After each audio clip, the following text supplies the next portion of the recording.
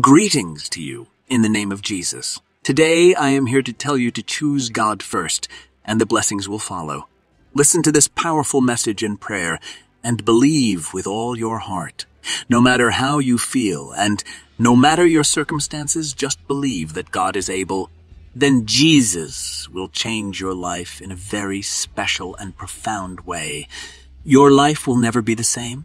Leave a like for this video. When you like the video, YouTube will show the video to more people so that you can help me to spread the gospel and change more lives. Now, in life, we are often faced with many of choices. Some are easy, while others may be challenging. Some are insignificant, while others are life-changing. Among these various choices, there exists one that is of paramount importance, one decision that can significantly shape our destiny. The choice of putting God first in our lives. Jesus in the book of Matthew, chapter 6, verse 33, lays out a profound promise for each of us. He said, But seek first his kingdom and his righteousness, and all these things will be given to you as well. This promise from our Savior tells us that when we prioritize God and his kingdom in our lives, all other necessities, all the blessings that we seek after, will be added unto us. I would like to illustrate this promise with a simple analogy. Picture a towering, majestic oak tree. Its strength, beauty, and the life it supports are a sight to behold, but this mighty tree doesn't spring up overnight. It begins as a small, almost insignificant seed, buried deep within the soil with the right care. Sunlight, water, nutrients, and most importantly time, it grows. It first peeks out as a tender sprout, eventually reaching towards the sky, growing stronger, taller, and finally, it bears fruit. Our journey of faith with God is similar to this tree's growth.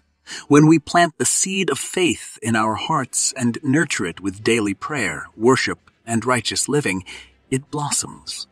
It grows into a firm and vibrant testimony of our unwavering commitment to God, bearing the fruits of the Holy Spirit, love, joy, peace, patience, kindness, goodness, faithfulness, gentleness, and self-control.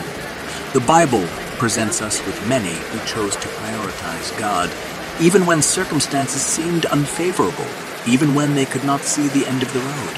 One such towering figure of faith is Abraham. God promised Abraham that he would be the father of many nations. But as years turned into decades and his wife, Sarah, remained barren, this promise seemed impossible. Yet Abraham chose God. He chose to believe in his promise. And in due time, God honored Abraham's unwavering faith. Sarah bore a son Isaac in their old age, and through Isaac, Abraham indeed became the father of many nations. Then we have the story of Moses, a man adopted into Pharaoh's household, enjoying all the privileges of Egyptian royalty. Yet, when God called him to lead the Israelites out of slavery, Moses chose God first. Despite the daunting task, despite the doubts and fears, Moses trusted God, and as he followed God's guidance, he led them out of bondage and towards the promised land. Both Abraham and Moses serve as powerful examples of individuals who put God first. Their lives echo the wisdom of Proverbs 3 verse 5 to 6. Trust in the Lord with all your heart and lean not on your own understanding. In all your ways submit to him, and he will make your path straight. Now you may ask, what does it mean to put God first in our lives? Firstly, to put God first means to seek his will above ours. It involves turning to him in prayer, reading the Bible and meditating on his word, and living according to his teachings. It means making decisions that honor God even when they seem challenging or unpopular. Secondly, putting God first means entrusting Him with our lives, even when things don't go as planned. It's remembering that God's plans for us are for our good, even when we can't see it. Thirdly, to put God first means to love and serve others selflessly. In the Gospel of Matthew, Jesus tells us that whatever we do for the least of his brothers and sisters, we do for him. This call to serve others is a call to put God first in our lives. As we journey through life, let's make the conscious decision to put God first. Let's choose to trust in His promises. For when we choose God first, we choose a journey of love, peace, righteousness, and joy. We choose a path that leads to divine blessings beyond our understanding. Jeremiah 29 verse 11 offers us a reassuring promise. For I know the plans I have for you, declares the Lord, plans to prosper you and not to harm you, plans to give you hope and a future. As we stand at the crossroads of life, may we have the courage and faith to choose God first, to trust in His divine power. As we do so, let us remember the promise of our Savior. When we seek His kingdom and His righteousness first, all other things, all the blessings will be added unto us. I know that choosing God first is not always easy, but it is always rewarding. It's a journey of faith, a journey of trust, a journey that leads us closer to Him and His countless blessings. So today, let's make that decision. Let's choose God first. Let's trust in His promises and watch as His blessings follow. Praise God. May God bless you all. Now let us go to God in prayer. I want you to pray this prayer with me, either by repeating the words or by saying it in your mind, so that you can have all the blessings of this prayer let us pray. Heavenly Father, our Savior and friend, I come before you today giving you thanks and praise. I am thankful for your unconditional love, a love that surrounds me every day, lifting me up during times of weakness and comforting me in moments of distress. Thank you, Lord Jesus, for loving me so much that nothing in my past, present, or future can separate me from your love. Lord, your word says that no matter what happens around me, your love will never leave me. Your peace will always be my portion, and you will always be with me. Mighty God, I ask that you will guide my decisions and turn my heart to deeply desire you above all else. I ask that you will open doors that need to be opened and close the ones that needs to be shut. Father God, I ask for your help to pursue you first, above every dream and above every desire. Lord, I ask for your wisdom. I ask for your strength and power to be constantly present within me.